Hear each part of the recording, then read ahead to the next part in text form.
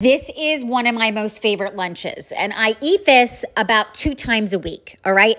Get a red bell pepper and clean it up, core it out. You need cream cheese, wasabi, smoked turkey. It's got to be smoked, smoked Gouda.